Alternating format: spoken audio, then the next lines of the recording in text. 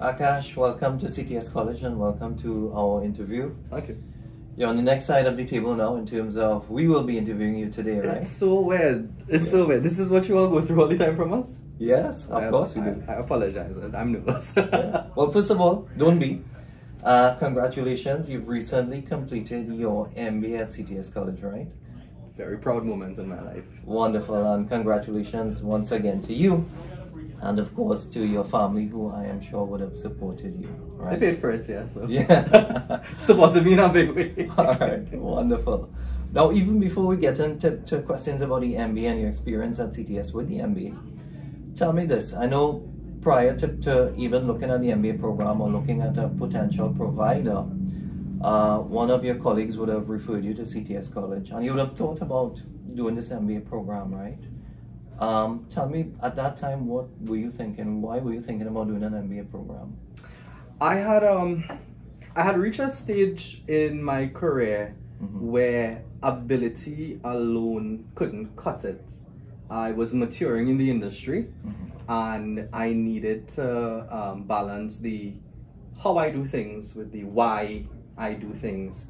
And I was starting to be in meetings, uh, management level, leadership level, mentorship level, where I was not understanding the language. So here I was with the ability to get it done. Right. But there's another side of things now where uh, a more mature role was beckoning Mm-hmm. uh, more mature positions within the company, and I um I felt a little out, out of my depth. Yeah. I um and I, I felt the first time I started to feel okay.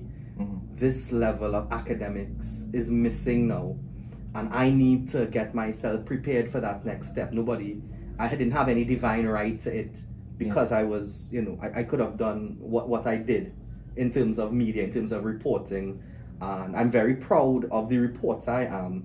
But I felt like okay, approaching mid thirty, you know, thirty three. Yeah. At, at the time I started, I was, yeah, I just turned thirty three. Yeah. And I said, okay, it is really time to start to understand that industry language. It's time to understand what leadership is.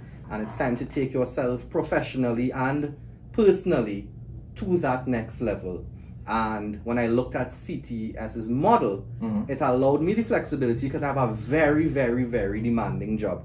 Not Yeah. to say other people don't have demanding jobs within who, you know, my classmates and whatnot. Yeah. But something about journalism, you can't, you, you don't often get time to switch off and focus on yourself Right. right? You're so studying everyone else's problems, flood, protests, they didn't get paid for, you know, two, three months. You bring home everyone's concerns and worries, and by the time you finish with them, it's the end of the day. Yeah. You didn't have time for yourself.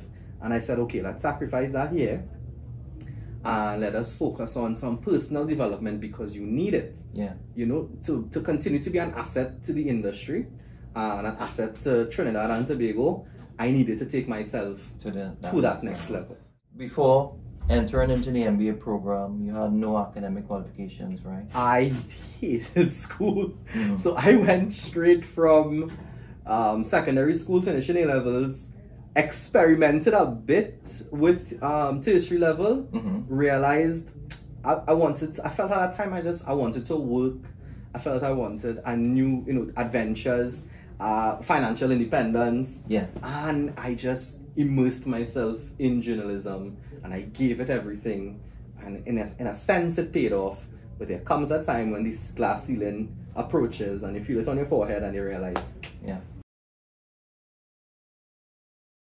Yeah, it was a big help. I mean, you all were very accommodating, Mhm. surprisingly uh, accommodating, not surprising, but in a bad way. But uh, you know, you, you tend to associate tertiary level, especially administrative staff, with um, just you know a conveyor belt of churning out applications, and Right.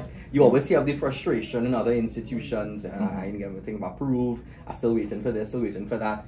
But every, everything ran so smoothly in terms of the application process. Process.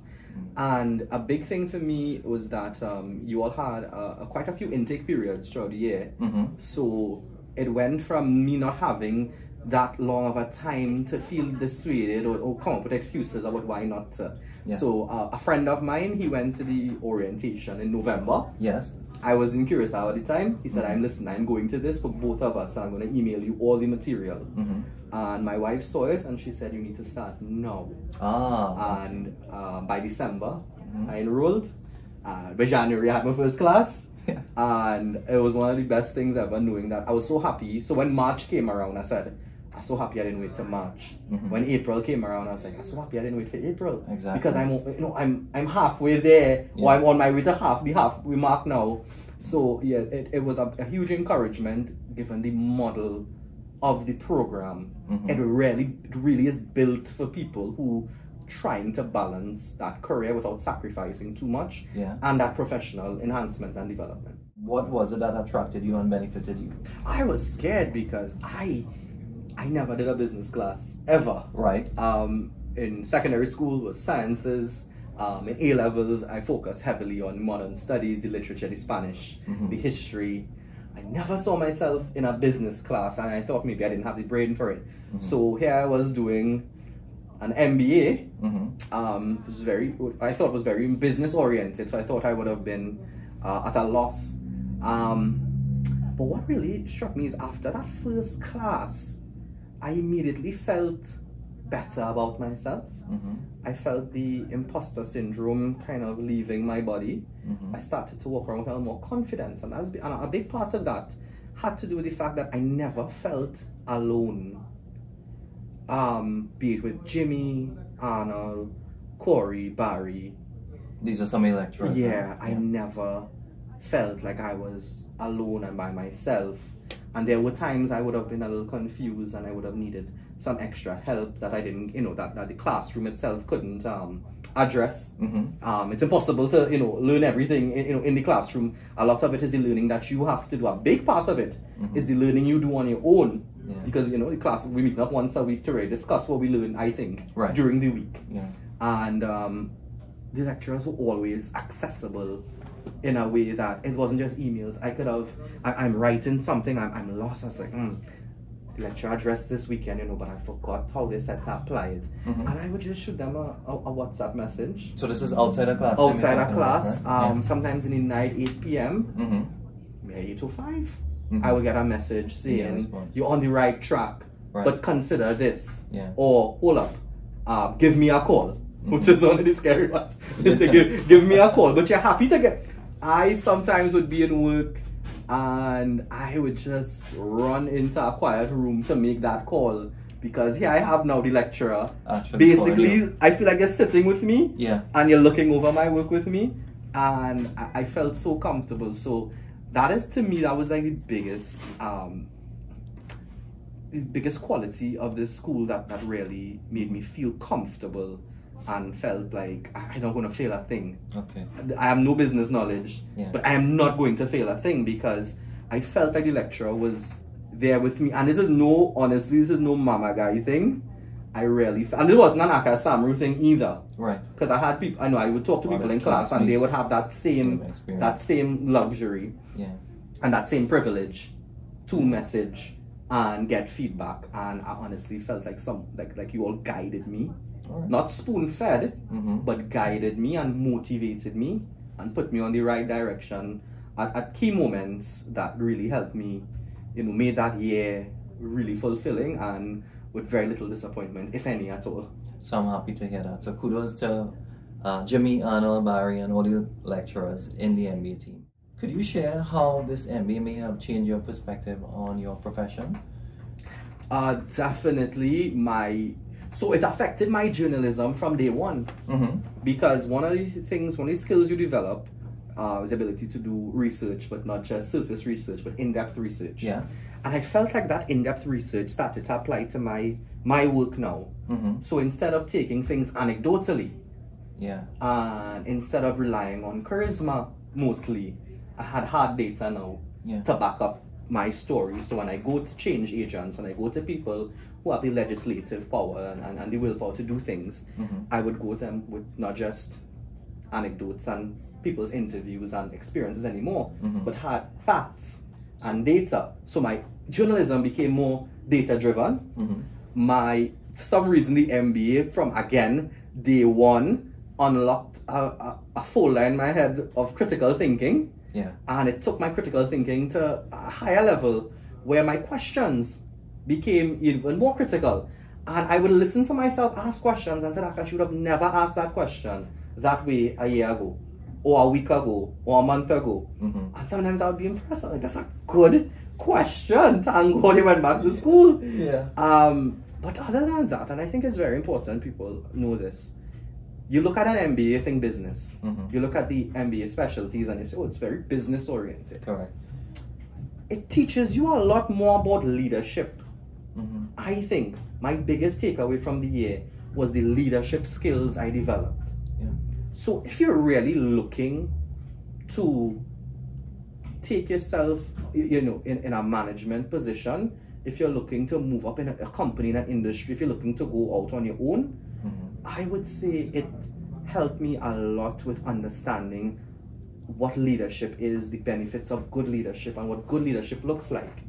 And I took that with me into journalism as well because I am at an age where younger there are younger people in the newsroom now Mm-hmm. and they come to me for guidance um, which I'm very you know privileged. I'm very happy about that and I, So you're actually mentoring now. I try to as much as possible because what's the point of having that information if you're not sharing, it right? Um, because I'm I am where I am too from people who would have shared certain things as well, Yeah. right? So and the MBA gave me the language to not just explain to them, and I mentioned it earlier, how I do what I do, but why I do what I do. And it allowed me to pass on those lessons and messages and little tricks and hints Mm-hmm. um, in a more coherent way, in, in, a, in a much more applicable, relatable, analogous way. And I did not think it was going to make me a better journalist. Mm-hmm. I thought it was going to give me options outside of journalism. Ah. So I said, okay, everybody knows Akash Samaroo, the reporter, yeah. but this is going to be Akash Samaroo, the businessman. This is going to be Akash Samaroo, the business head. Yeah. And I could do that as well. But it, I was so surprised when I saw, I'm looking at my stories and I said, but this is well written. This, you're connecting your points, you're finding more synthesis in your stories. And synthesis is something we learned a lot in the MBA program. And critical thinking. Yeah, and I'm like, and you're, you're making all of this work. And I was so pleased hmm. that it translated into my daily job. Yeah. So I didn't feel like I was doing journalism and school on the side. I felt like everything was just a part of this great experience I was on. So you're able to, to think and work at a strategic level, more or less. Mhm, mhm. And you, I know I'm, I'm doing interviews with businessmen, Mm-hmm. heads of business chambers, and I'm using language I learned in the MBA.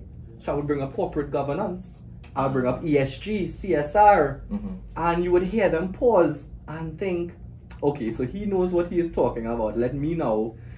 Let me take, you know, make sure that my answers, you you know, are, are, are up there because Yeah. he clearly knows what he is talking about. What advice would you give to anyone considering doing an MBA program, first of all?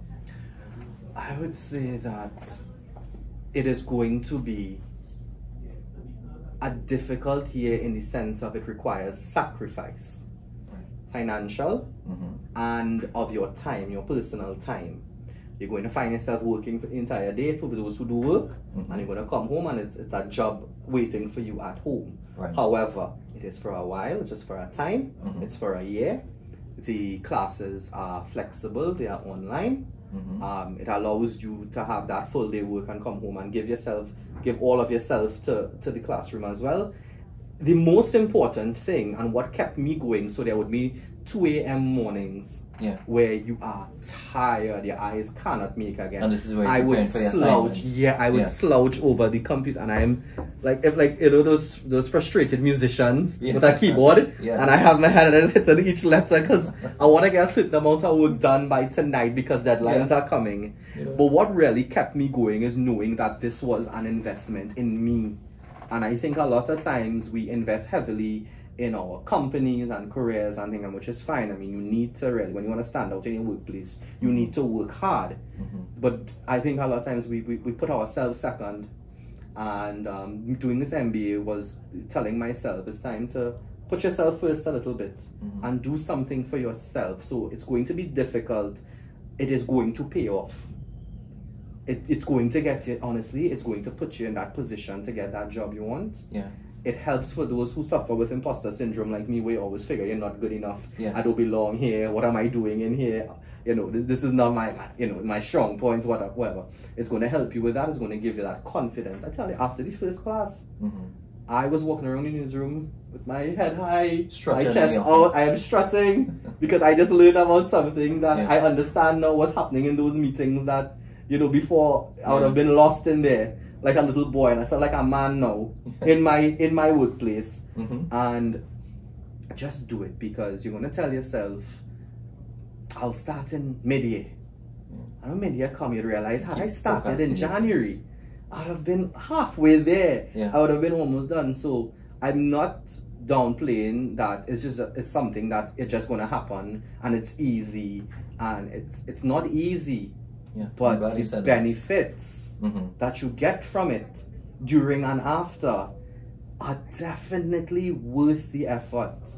I can't think of a better investment I've made in myself since becoming an adult Yeah. than doing this program because there is a, a peace of mind that I have now Mm-hmm. and a confidence that I have now that I never had before.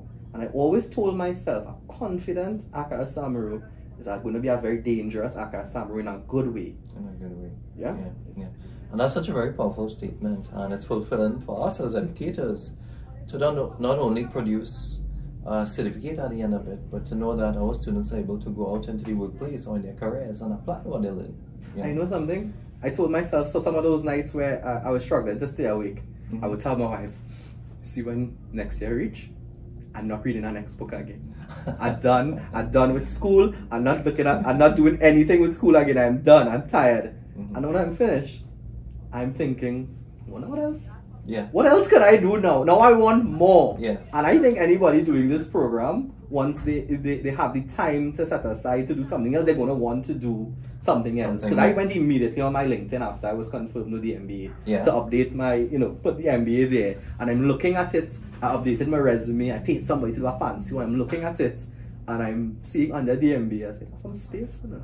Yeah. It have some Yeah, space, yeah, there's some, space there. some real estate here to put a little something, and you all offer a lot, in, not just a We MBA, do, but you yeah. know, degrees, certificates, diplomas. Correct. And I was like, maybe a little something in film editing now might look Oh, might look good under here. Yeah. So yeah. I can speak to people maybe within um, where I am right now in life. Yeah. Um, early to mid, well, approaching mid thirties, Mm-hmm. um, mid career, Mm-hmm. and you're looking for that transition. You're looking, yeah, that junction now where you need to decide what you're going to do. Am I going to stay within, you know, what I've been doing in my twenties? Am I going to stay here? Am I looking for something else? Am I looking to be more uh, at where I am? Mm-hmm. And I think what CTS, what, what really made it a no brainer for me Mm-hmm. was that ability to, you have to, sac- you're going to have to make sacrifices here and there, but I didn't to sacrifice Mhm. a lot. Yeah. I was able to give CTS my all because of the, the, the structure, Mm-hmm. um, classes on weekends, um, the online setting. So I was able, some days I was working and listening yeah. to what's happening in the classroom. Um, uh, big people, we have emergencies, Mm-hmm. we have families, we have spouses. Um, things happen, and sometimes you won't be able to make it to that class, but you, you don't feel lost because when you get home, Mm-hmm. that class is waiting there for you to watch over. To go through. Even if you were in the class, you know, sometimes it's going a mile a minute, sometimes because you're trying to fit in a lot of material within a once a week class. And you would tell yourself, I have a second bite at this apple later in the day when you all send the recording. Yeah. I could sit down now and go back to this part here, which I didn't really fully understand at the, at the time because a lot may be happening around me, or I myself maybe needed to hear it a couple more times. And you play that 100 times, 200 times, and you, you get there. So, but you think CTS was able to bridge that gap between that inexperience you had at the end with academics? Definitely, I felt I did not feel like I was not in a classroom for Mm-hmm. 14 years. Yeah. I didn't feel like I, I, I, I thought it was going to be like that. Mm-hmm. I thought I was going to be um, around people who would make me feel for the want of better word, done at times. Yeah. I, I thought that was going to be my experience, but I was contributing from Day from one. the first class. Yeah. I was presenting on behalf of groups for people who were in management positions Mhm. in a business field. And here I was leading the team because the information came across so it was so applicable to, to real world mm-hmm. and, and real life things that when you as I say you understand the why things happening. So we're talking about big businesses in Trinidad, we're talking about KFC's business model and you're like I know a lot about KFC, but now I could understand why why why certain things happen. I know a lot about this, now I understand why. So everything about it was set up in such a way where the only way I think you're gonna really fail this or, or, or not succeed at this is really if, if, if you decide not to. You know? If you tell yourself you're gonna pass and you tell yourself I'm gonna sit here during this classroom and I'm gonna learn it, have no way. Have no way you're not going You're you're not not going to come out of this with your with your qualification, be it the certificate, be it the MBA. Mhm. Maybe one day do PhDs. and. Yeah. Maybe we could we could talk about something like that. But Dr. uh, Samara like that. yeah, but it it was really designed in a way where anyone, no matter your field, Mhm. be it journalism, be it science, whatever, you could have been out of school for so long. And you know, people would have brought up that, you know, in our first class, we'd put the caveat out there, sir, your ex- lower expectations from me. Yeah. I've not done business, I've never done business, I've never been in a tertiary level education classroom. Mhm. And while you are very well aware that you are in a very professional setting, it is not no jokey university, it is not no jokey work, you felt that it was doable because of the avenues you had to sit and understand, be it the, ab- the availability of lecturers after the class to talk to you, be it the ability to pull back up that classroom and look through it and take your time and pause and make notes, uh, be it the ability to, to, to join the class anywhere you are, be it if you're in work, if you're busy, if, you know, if you have certain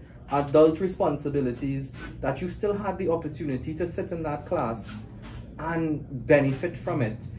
There wasn't a time where I thought um, I wasn't going to make it out of this, Yeah. and there wasn't a time I thought that this wasn't for me. I felt very much after the first class, this is this is for me. This is where I belong, and I'm so happy that I Thank you, made that you. decision. Thank you very much, Akash, Of for choosing CTS College, first of all, for interacting in our classes, and for always being an ambassador for your students and for your colleagues as well.